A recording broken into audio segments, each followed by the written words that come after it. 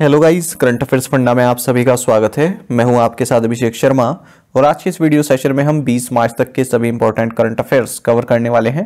हमेशा की तरह आप इस वीडियो को अंत तक ज़रूर देखिएगा। आज भी आपको काफ़ी कुछ जानने के लिए मिलेगा। साथ ही इस सेशन को शुरू करने से पहले आप सभी को बताना चाहूँगा, यदि आप हमारे daily current affairs PDF weekly PDF monthly PDF और हर महीने के banking and economic awareness PDF चाहते हैं तो करंट अफेयर्स फंडा का वन ईयर मेंबरशिप प्लान आप ज्वाइन कर सकते हैं, जिसका लिंक आपको वीडियो के डिस्क्रिप्शन में या फिर फ़र्स्ट कॉमेंट में मिल जाएगा। आपको बता दें, इस वन ईयर मेंबरशिप प्लान के तहत जितना भी हमारा पीडीएफ कंटेंट है, वो हम आपको एक साल तक के लिए प्रोवाइड कराते हैं। जिसे आप डाउनलोड कर सकते हैं प्रिंट आउट भी निकलवा सकते हैं। कोई भी आपका एग्ज़ाम हो banking SSC railway of state PCS जहाँ पर भी जनरल अवेयरनेस या करंट अफेयर्स पूछे जाते हैं, सभी एग्ज़ाम्स के लिए हमारा पीडीएफ कंटेंट काफ़ी यूजफुल है। तो कोई भी अगर आपका डाउट है हमारे इस पीडीएफ कोर्स संबंधित तो आप कमेंट बॉक्स में अवश्य लिखिएगा। साथ ही आपको बता दें ये जो हमारा वन ईयर मेंबरशिप प्लान है इसमें हम आपको कैटेगरी वाइज क्विज भी प्रोवाइड कराते हैं। आप देख सकते हैं schemes MOU summit economy sports book and author defence science and technology banking obituary appointment और भी सारी कैटेगरीज में क्विज अवेलेबल है इस वन ईयर मेंबरशिप प्लान के तहत। यदि आप एक बार करंट अफेयर्स पढ़ लेते हैं, उसके बाद इन क्विज को अटैम्प्ट करते हैं तो यकीन मानिए आपका करंट अफेयर सेक्शन काफ़ी स्ट्रॉन्ग बन जाएगा। तो लिंक आपको वीडियो के डिस्क्रिप्शन में या फिर फ़र्स्ट कमेंट में मिल जाएगा। चलिए फिर करते हैं शुरुआत इस वीडियो सेशन की। हम इसे तरह सबसे पहले आज का क्वेश्चन देखेंगे। इसका आंसर आपको अभी कमेंट बॉक्स में करना है। This parliamentary election will be the second longest polling exercise in India's electoral history which was the first one पूछ रहे हैं कि यह संसदीय चुनाव भारत के चुनावी इतिहास में दूसरा सबसे लंबा मतदान अभ्यास होगा। पहला कौन सा था? ऑप्शन है उन्नीस सौ इक्यावन बावन, उन्नीस सौ बासठ तिरसठ, उन्नीस सौ बावन तिरपन या फिर उन्नीस सौ पिछहत्तर सतहत्तर। जल्दी से आंसर कर दीजिए, फिर हम आगे बढ़ते हैं। इसी तरह क्वेश्चन यदि आप प्रैक्टिस करना चाहते हैं तो मैं टेलीग्राम पर ज़रूर ज्वाइन करें। करंट अफेयर्स फंडा नाम से हमारा टेलीग्राम चैनल है।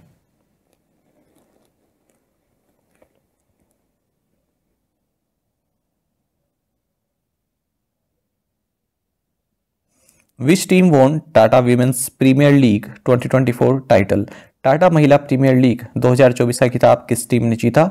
ऑप्शंस आपके सामने है। सही आंसर ऑप्शन डी है। रॉयल चैलेंजर्स बेंगलोर आपको जानना चाहिए कि रॉयल चैलेंजर्स बेंगलोर ने Tata women's premier league 2024 title जीत लिया है।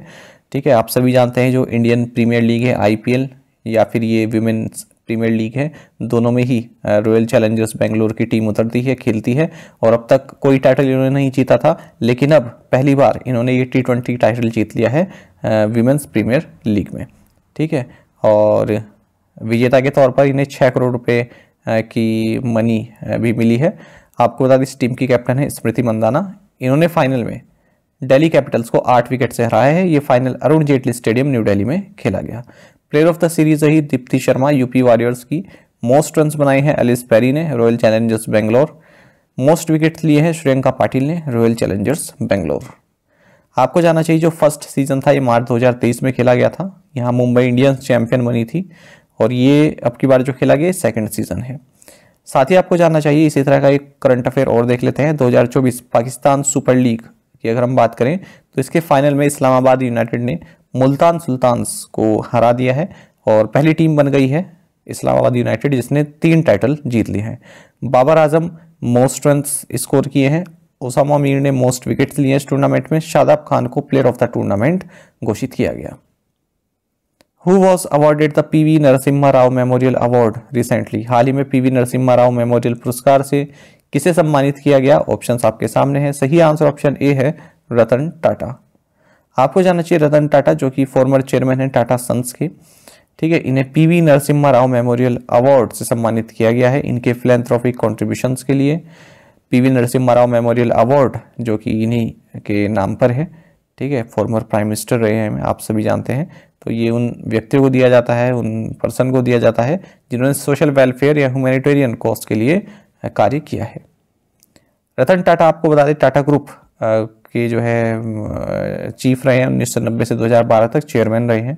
इंटरिम चेयरमैन भी रहे अक्टूबर 2016 से फरवरी 2017 तक। हाल ही में Tata group first Indian conglomerate बनी है, जिसने 30 लाख करोड़ की मार्केट कैपिटलाइजेशन क्रॉस की है। How much monetary penalty has the reserve bank of India impose on DCB bank limited भारतीय रिज़र्व बैंक ने डीसीबी बैंक लिमिटेड पर कितना मौद्रिक जुर्माना लगाया है? ऑप्शंस आपके सामने हैं। सही आंसर ऑप्शन बी है। तिरसठ लाख साठ हज़ार का। देखिए रिज़र्व बैंक ऑफ़ इंडिया ने तिरसठ लाख साठ हज़ार का मॉनेटरी पेनल्टी लगाई है डीसीबी बैंक लिमिटेड पर, क्योंकि आरबीआई के कुछ डायरेक्शंस थे इंटरेस्ट रेट ऑन एडवांसेस से संबंधित, उनका अनुपालन इसके द्वारा नहीं किया गया। वहीं रिज़र्व बैंक ऑफ़ इंडिया ने एक करोड़ इकतीस लाख अस्सी हज़ार रुपये का जुर्माना लगाया है तमिलनाडु मर्केंटाइल बैंक पर, क्योंकि इसने आरबीआई के जो इंटरेस्ट रेट ऑन एडवांसेस और central depository of information on large credits revision in reporting इससे संबंधित जो डायरेक्शंस थे, उनका अनुपालन नहीं किया है। आपको ये भी जानना चाहिए कि हाल ही में रिज़र्व बैंक ऑफ़ इंडिया ने जो अभ्युदय कोऑपरेटिव बैंक लिमिटेड की कमिटी ऑफ़ एडवाइजर्स है, इसको रिकॉन्स्टिट्यूट किया है। और देवेंद्र कुमार, जो कि former chief general manager state bank India के, इन्हें इस कमेटी में शामिल किया है महेंद्र छाजीट के बदले, क्योंकि ये रिजाइन कर चुके हैं। आपको बता दें, चौबीस नवंबर 2023 को रिज़र्व बैंक ऑफ़ इंडिया ने जो अबुदया बैंक है, इसका जो बोर्ड ऑफ़ डायरेक्टर्स उसको अपने हाथ में ले लिया था बारह मंथ्स के लिए और सत्य प्रकाश पाठक को एडमिनिस्ट्रेटर नियुक्त किया था। तो इनके अलावा अब इस कमेटी ऑफ़ एडवाइजर में वेंकटेश हेगड़े और सुहास कोखले भी हैं। What is the theme of the annual conference of RBI ombudsman held in Mumbai Mumbai में आयोजित आरबीआई लोकपाल के वार्षिक सम्मेलन का विषय क्या है?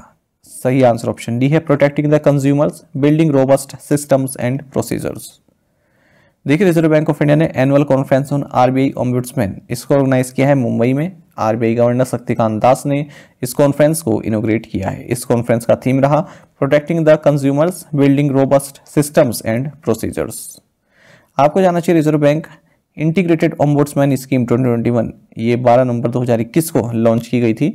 और इससे पहले जो एग्जिस्टिंग थ्री ओम्बुड्समैन स्कीम थी आरबीआई की banking ombudsman scheme 2006 bank ombudsman scheme for non banking financial company 2018 और ombudsman scheme for digital transaction 2019 ठीक है, इन तीनों को ही इंटीग्रेट बन करके ये स्कीम बनाई गई थी 2021 वाली। तो इस स्कीम को रिज़र्व बैंक ऑफ़ इंडिया द्वारा जो बैंकिंग रेगुलेशन एक्ट की सेक्शन 35 ए या फिर section 45 L of RBI act 1934 और section 18 of payment and settlement system act 2007 के तहत जो आरबीआई के पास पावर है, उसके तहत इसे बनाया गया था। When is the international day of happiness celebrated अंतर्राष्ट्रीय प्रसन्नता दिवस कब मनाया जाता है? सही आंसर ऑप्शन सी है मार्च ट्वेंटी। देखिए इंटरनेशनल डे ऑफ़ हैप्पीनेस ये हर साल 20 मार्च को मनाया जाता है और इस डे को इस्टेब्लिश किया गया था यूनाइटेड नेशन जनरल असेंबली द्वारा 28 जून 2012 को। इस बार 2024 में इस डे का थीम है reconnecting the happiness building resilient communities आपको भी जानना चाहिए कि यूएन फ्रेंच लैंग्वेज डे भी 20 मार्च को ही मनाया जाता है।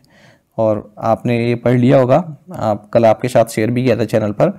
ये पर्सन है सुयस शाह ठीक है? देखिए एग्ज़ाम जो है इन्होंने काफ़ी अच्छे अच्छे निकाल दिए हैं। R B R R B P O पहले इन्होंने क्लियर किया, ठीक है, और N I S C L A O भी इन्होंने क्लियर किया, और अब S B I P O भी इन्होंने क्लियर किया है। तो इनका एक कल मैसेज आया मेरे पास पहले टेलीग्राम पर, फिर उन्होंने यहाँ पर कमेंट भी किया, ठीक है तो इनको बहुत बहुत शुभकामनाएँ, और ये कह रहे थे इनसे बातचीत हुई मेरी कि अब अगला target sir R B I grade B का है, ठीक है तो उम्मीद है कि उसमें भी निकाल देंगे। ठीक है? तो ये आपको इसलिए शेयर किया जाता है कि आप जो है थोड़ा मोटिवेट हो इन चीज़ों को देखकर, है ना? आप कुछ भी कर सकते हैं पॉसिबल है एग्ज़ाम निकालना, ठीक है? बस आपको तैयारी चाहिए। अब यहाँ पर हम देख तो रहे हैं कि उन्होंने एग्ज़ाम निकाल दिया, पर इसके पीछे कैसी मेहनत रही होगी, ठीक है? ये केवल यही जानते हैं, ठीक है? तो आप अपने सोर्स को को लिमिटेड रखिए। आजकल क्या है ना एस्पिरेंट सोर्स में ज़्यादा बह जाते हैं। पीडीएफ इतनी अवेलेबल हो चुकी हैं, है ना? टेलीग्राम पर पीडीएफ की भरमार हैं। ठीक है? ये तो आप एक चीज़ पूरी कंप्लीट ही नहीं कर पा रहे हैं, अच्छे से। तीन चार बार रिवाइज ही नहीं कर पा रहे हैं एक जेनुइन सोर्स को। तो यही आपकी जो है कमज़ोरी हो रही है। अगर आप जनरल अवेयरनेस की बात करें, बाकी तो जो रीजनिंग क्वांट है, इसमें आपको प्रैक्टिस की ज़रूरत होती है। ठीक है? तो बस मैं इतना ही कहना चाहूँगा। जो भी आपके पास सोर्स है, उसे सफिशियंट समझिए। उसको कई बार आप जो है रिवाइज कीजिए। इतने समझदार आप हैं कि आपको पता रहे कि ये सोर्स मेरे लिए सफिशियंट है कि नहीं है। Which edition of joint military exercise Lamitier 2024 between the Indian Army and Seychelles Defense Forces to be conducted? भारतीय सेना और सिसिल्स रक्षा बलों के बीच संयुक्त सैन्य अभ्यास लामितिये 2024 का कौन सा संस्करण आयोजित किया जाएगा सही आंसर ऑप्शन सी है टेंथ देखिए इंडियन आर्मी कंटिजेंट सिसिल्स के लिए डिपार्ट कर चुका है, निकल चुका है। यहाँ पर टेंथ एडिशन होने वाला है जॉइंट मिलिट्री एक्सरसाइज लमिटियर 2024 का, जो कि इंडियन आर्मी और सिसिल्स डिफेंस फोर्सेस के बीच में होने वाला है। 18 से 27 मार्च 2024 के बीच में चलेगा ये, और लमिटियर का मीनिंग होता है फ्रेंडशिप ठीक है तो एक बाइनियल ट्रेनिंग इवेंट है, और दो हज़ार एक से ही सिसिल्स और भारत के बीच चलता आ रहा है। गोरखा राइफल्स जो है इंडियन आर्मी के, वो इसमें पार्टिसिपेट कर रहे हैं भारत की ओर से। What is the name of the bilateral tri-service humanitarian assistance and disaster relief exercise between India and the United States? Bharat और संयुक्त राज्य अमेरिका के बीच द्विपक्षीय त्रिसेवा मानवीय सहायता और आपदा अभ्यास का, आपदा राहत अभ्यास का नाम क्या है? सही आंसर ऑप्शन भी है टाइगर ट्रिम्प 24 देखिए bilateral tri service humanitarian assistance and disaster relief exercise इसका नाम टाइगर ट्रिम्प 2024 है। ये भारत और यूनाइटेड स्टेट्स के बीच शुरू हो चुकी है। ईस्टर्न सी बोर्ड यूनाइटेड स्टेट्स में 18 मार्च को और 23 और 31 मार्च तक ये चलने वाली है। तो इंडियन नेवी शिप्स भी इसमें पार्टिसिपेट कर रही हैं with integrated helicopters landing crafts और Indian navy aircraft Indian army personnel vehicles Indian air force aircraft and helicopters और रैपिड एक्शन मेडिकल टीम सब इसमें पार्टिसिपेट कर रहे हैं। बाकी आपको जानना चाहिए जो ये ईस्टर्न सी बोर्ड है यूनाइटेड स्टेट्स में, इसे east coast of the United States भी बोलते हैं एटलांटिक सी बोर्ड भी बोलते हैं एटलांटिक कोस्ट भी बोलते हैं। तो जो यूनाइटेड स्टेट्स का ईस्टर्न पार्ट है, जहाँ पर वो एटलांटिक ओशन से मिलता है, उसे बोला जाता है eastern seaboard which command hospital of the armed forces medical services was adjudged as the best for the year 2022 निम्नलिखित से किसने वर्ष 2022 के लिए सशस्त्र बल चिकित्सा सेवाओं के सर्वश्रेष्ठ कमांड अस्पताल के लिए रक्षा मंत्री ट्रॉफी जीती। सही आंसर ऑप्शन ए है, command hospital, southern command, Pune. देखिए, रक्षा मंत्री trophy for the best and second best, command hospitals for the arm forces medical services for the year 2022 was presented in new Delhi. नई दिल्ली में ये award दिए गए हैं कि रक्षा मंत्री trophy for best, command hospital और सेकंड बेस्ट, कमांड हॉस्पिटल। तो जो बेस्ट कमांड हॉस्पिटल है, ये रहा है सदर्न कमांड, पुणे का। सेकंड बेस्ट कमांड हॉस्पिटल रहा है, सेंट्रल कमांड लखनऊ वाला। रक्षा मंत्री ट्रॉफी आपको बता दें 1989 से ही दी जा रही है। जो भी आर्म्ड फोर्सेस हॉस्पिटल हैं, जिन्होंने हेल्थ केयर सर्विसेज़ काफ़ी अच्छी प्रोवाइड कराई है, उन्हें दिए जाते हैं। Which declaration was recently signed by ministers of health from African countries with the highest burden of malaria. Malaria के सबसे अधिक बोझ वाले अफ्रीकी देशों के स्वास्थ्य मंत्रियों ने हाल ही में किस घोषणा पर हस्ताक्षर किए? सही आंसर ऑप्शन डी है यौंडे डिक्लेरेशन। देखिए minister ministers of health from African countries ठीक है, उस तरह, उस, उन अफ्रीकन कंट्रीज़ में जहाँ पर मलेरिया का सबसे ज़्यादा प्रकोप है, ठीक है तो यहाँ के हेल्थ मिनिस्टर्स ने हाल ही में एक याउंडे डिक्लेरेशन को साइन किया है, जिसका ऑब्जेक्टिव है मलेरिया डेथ्स जो हो रही हैं, उनको एंड करना, ठीक है मलेरिया के कारण कोई भी डेथ ना हो देशों में इनके। तो 11 अफ्रीकन कंट्रीज़ के हेल्थ मिनिस्टर्स ने इसे साइन किया है। आपको बता दें ये जो साइन किया गया ये याउंडे कॉन्फ्रेंस में साइन किया गया है, जिसे होस्ट किया है वर्ल्ड हेल्थ ऑर्गेनाइजेशन और गवर्नमेंट ऑफ़ कैमरून ने। ठीक है? तो कैमरून में ये आयोजित हुआ और यहाँ पर साइन किया गया याउंडे कॉन्फ्रेंस या याउंडे डिक्लेरेशन ग्यारह कंट्रीज़ कौन कौन सी रही? Burkina Cameroon Democratic Republic of Congo Ghana Mali Mozambique Niger Nigeria Sudan Uganda और तंजानिया तो 70 परसेंट जो ग्लोबल मलेरिया बर्डन है, वो इन देशों में ही है। माफ़ कीजिएगा।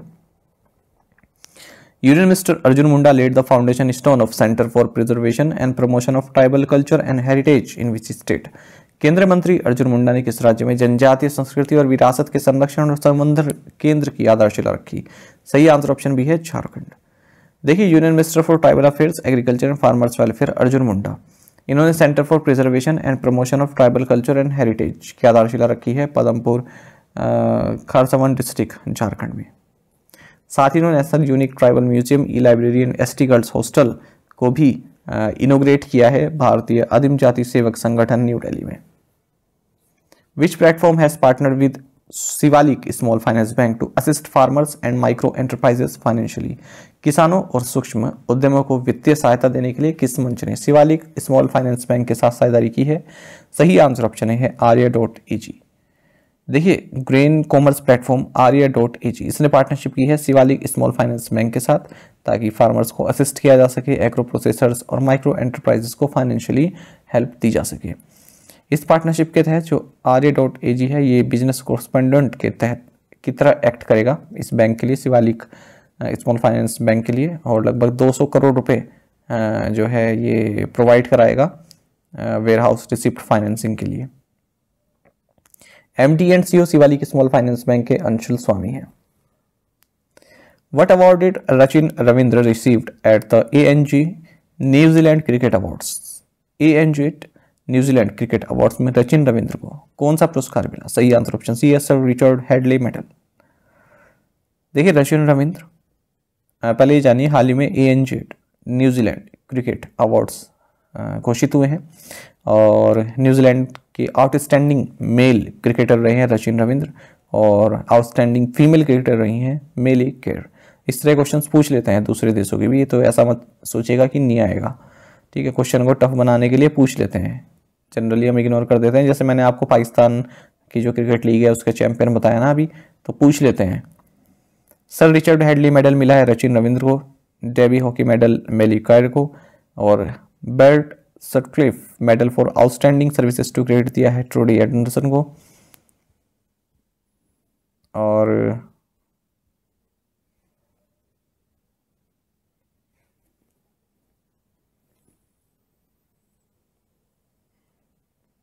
माफ़ कीजिएगा। बीच में थोड़ा दिक्कत आ गई।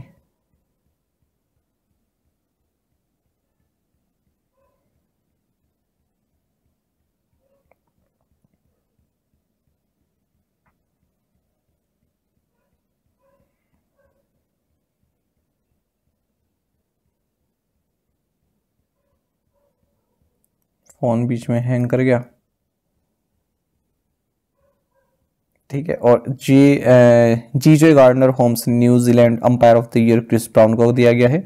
A N Z test player of the year Kane Williamson A N Z mains ODI player of the year Darren Mitchell और women's ODI player of the year milli care T twenty player of the year Mitchell sender T twenty player of the year women मेली care which country unveiled the world first ever three printed mosque किस देश ने दुनिया की पहली three मुद्रित मस्जिद का नामकरण किया? सही आंसर ऑप्शन डी है, सऊदी अरब।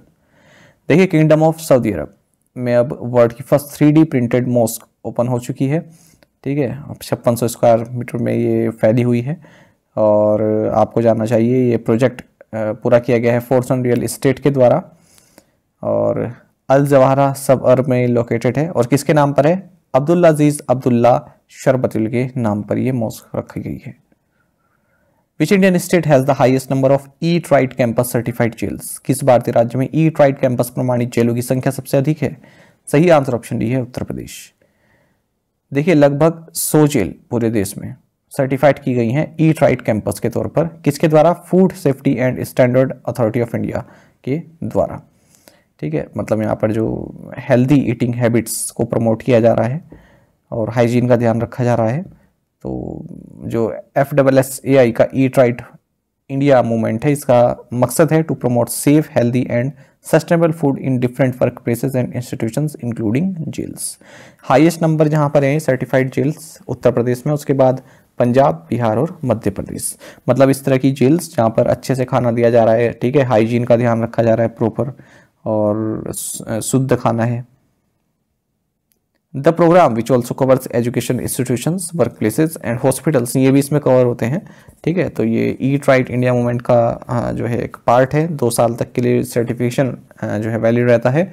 और ये जो पूरा कैंपेन है ईट राइट कैंपेन ये तीन पिलर पर आधारित है। Eat safe eat healthy and eat sustainable what is the tenure of presidential term in Russia रूस में राष्ट्रपति का कार्यकाल कितना होता है? सही आंसर ऑप्शन है सिक्स ईयर्स तो देखिए रशियन प्रेसिडेंट व्लादिमीर पुतिन ने जो है, पांचवी बार रशियन प्रेसिडेंट प्रेसिडेंशियल इलेक्शंस को जीत लिया है। 87.8 percent of the total votes इन्हें प्राप्त हुए हैं। और इस तरह से अब इनका जो नया छः साल का टर्म है, वो शुरू हो जाता है।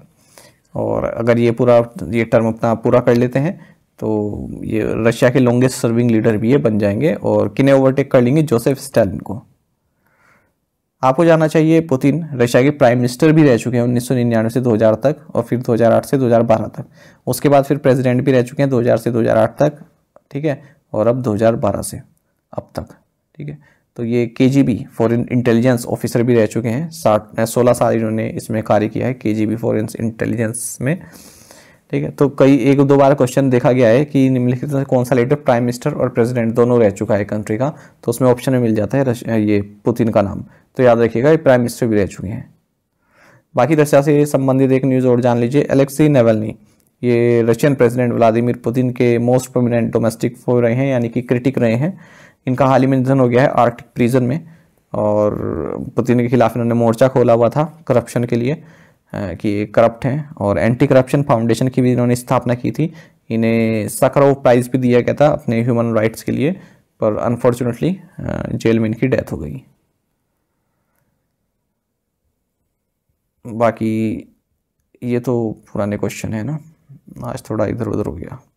प्रीवियस असाइनमेंट क्वेश्चन के आंसर देखेंगे। Who has been appointed the new prime minister of Palestine Mohammad Mustafa. The US has had 46 presidents so far. How many of them have been women? None. Which is the only state in India where a national register of citizens was compiled in 2019 on the directions of the Supreme Court? Assam. In which year India declared its nuclear doctrine based on uh, no first use policy and reserved the right to massive retaliation in case it was attacked first 2003 who is the new chairman and managing director of the Northern Coalfields Limited, the Singrauli based flagship subsidiary of Coal India Limited? Answer is P. Sairam. आप में से कई students से बिल्कुल सही answer किया है इसी तरह से आप पार्टिसिपेट करते रहे चलिए आज के असाइनमेंट क्वेश्चन देखेंगे the haemoglobin A one C test या फिर H B A one C test is use to detect with health condition India's Numaligarh refinery limited open its first overseas licence office in which country now stands as the world's second largest producer of mobile phones at the end of the decade 2014 2022 2024 union minister dr jitendra singh inaugurated national speed breeding crop facility at the national agri food biotechnology institute in which city which distinguished para archer and arjuna awardee has been announced. Election commission of india national pwd icon तो इसका answer आपको देना है पाँचों question का। कोशिश कीजिएगा, यदि एक क्वेश्चन का आंसर भी आता है तो भी आप हमें कमेंट बॉक्स में अवश्य ही बताएँ। साथ ही करंट अफेयर्स फंडा को आप टेलीग्राम पर भी ज्वाइन कर सकते हैं। यहाँ पर रेगुलर वीडियो अपडेट्स और करंट क्विज हम आप सभी के लिए डालते रहते हैं। साथ ही डिस्कशन ग्रुप में आप किसी भी क्वेश्चन का सोल्यूशन पा सकते हैं। Thank you guys